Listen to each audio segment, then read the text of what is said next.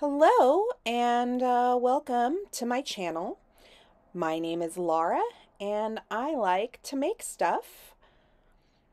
This video is me making a quilt, another one, um, because I have in fact been bitten by the quilting bug. uh, it started with me going through and gathering all of my like fabrics that I have because if we're going to be honest, the fabric um, storage is what takes up the most space of like what I have unfinished and what I have I want to do. So, um, and a lot of those fabrics I don't really want in dress form. So here they are quilted, uh, or going to be anyway. um, I have a whole bunch of quilts that I wanted to make, um, but to be honest, I was a little uh, jealous of the quilt I, I made a little bit ago for my friend, and so I wanted one. But I wanted to try out. I want there's all these um, half square patterns that I want to try out. Um, so I found my square tool for cutting, and uh, here I am just cutting out all these squares Some of the leftover fabrics are like old sewing projects that I um, made mistakes on and did just lost interest in ever completing or fixing. Um, some were old dresses that just didn't look like the colors weren't right for my skin tone. Um, things of that nature in the in the fabric stash and honestly I have enough fabric that I could probably get a few more quilts which is good because I have a lot of quilt ideas. But um, yeah, I figured I'd try to make this one for me. Um, I wanted it bright and colorful, so I went through my fabrics and I lined everything up. Um, just kind kind of seeing what would go together. I had a pretty good idea of what I wanted. Um, and then I do machine sew all of this, but uh, originally my plan was I was going to actually get this long arm quilted. Um, I've never had a quilt quilted like that before. Um, however, uh, in this process, I have been watching and learning a lot more about quilting in general, and I have discovered how um, beginner I really am, I guess. So um, there was a long arm quilting video that discussed how um, if there's any lumps or bumps, it can really affect the quilting process of doing a long arm, long arm quilting. And so, um, the person that I was going to bring this quilt to does her own stuff. Like she's got her own projects. So I didn't want to bring her a quilt that still wasn't uh good enough i guess. So i will wind up and am actually it's not finished um i am hand quilting this so um spoilers.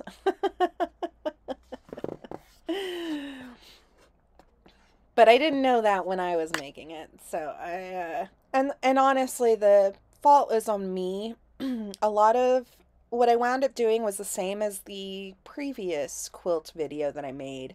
Um, you sew it, um, you, you put the two squares together and you sew two lines down the middle and then you cut it in half and you have your half squares. Well, um, you got to make sure you're sewing straight and even. And um, I thought I could fudge things, but as I went along, I discovered um, no, no, you can't. That original seam, like sewing line, is pretty important um, because if your half square is smaller, the smallest half square is ultimately going to be this what all of the others are going to need to be the size of. Um, and so when one thing gets off, the rest of it gets off. I think I did pretty well at making do though. So. This was an old dress um, that I'm cutting and saving the buttons off of. I made this dress. It looked awful. it was not salvageable, so I would rather have the fabric. I have so many dresses. I would rather have the fabric for a quilt instead. Um, I really have always loved the idea of scrap quilts. Um, I wish that I had documented, like, I think my first quilt that I ever made was when I was like nine, and it was really awful. It did have a front and a back. Oh, so, you know, in case you are not a quilter, if you want to know, officially, to be a quilt, it has to have three parts a front, a back, and backing.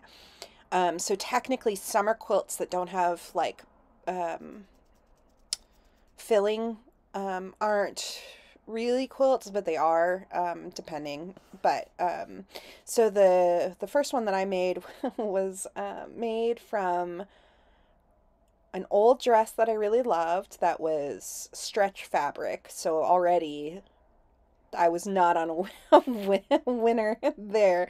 But then the front of it was um, all of these like loom made things that they were like these nylon loomy things I had I had gotten as like um, a Christmas gift and so like there's these like um, what I think are colored nylon strips basically and you weave them together and so I made that into a quilt and it was awful. I am sure I have a photo somewhere. Um, but I don't have it.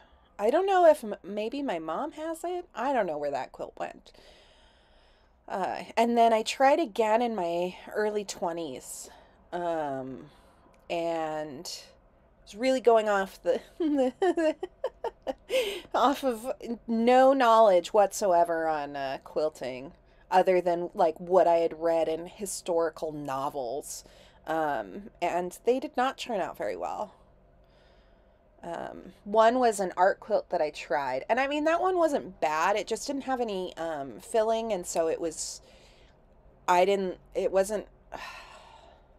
I think I threw it out at one point. Like I hated it, so I used it as like a paint um, tarp at one point, and then possibly my cat peed on it, and I was just like, eh, I don't need this taking up space. So I think that was the tossed. Um, I made some that I gave to friends, and uh, all of them, all of them are not even. I'm like, and all of my friends are so nice because they're like, oh no, they're great. I love these quilts, but I'm like. if you actually look at the way that it's lined up, it's clear that it's tilted and been cut. And I think I even gave away a quilt that was not square. So, like, if you lay it out or if you try to fold it, those lines are not going to fold. Oh, goodness. But everybody tells me they still use the quilt. So, you know, I'm glad they're being used. And they, you know, I learned a lot from the time from making those ones. Um, and I'm still learning, obviously. Uh, I would say that probably this top is the nicest I have ever made. Like all of my points are pretty good in the end. You'll see. Um, but I even have like one that I finished recently that was um, I had mixed up my cuts, so I had cut it and then waited a few years before I sewed it together, and so my cuts were off because I uh, mistook the squares. And so I was cutting and putting the wrong squares in the wrong places. And as a result, it was completely off. Um, and so that one is, I have it on my bed now, but it is, uh, it is not even. And then when I went to quilt it, my stitches were too big and I didn't line it up properly. I had a pain in the butt trying to quilt it. And so the back of it is all lumpy. And um, there's one part that's like, that's like, oh my goodness.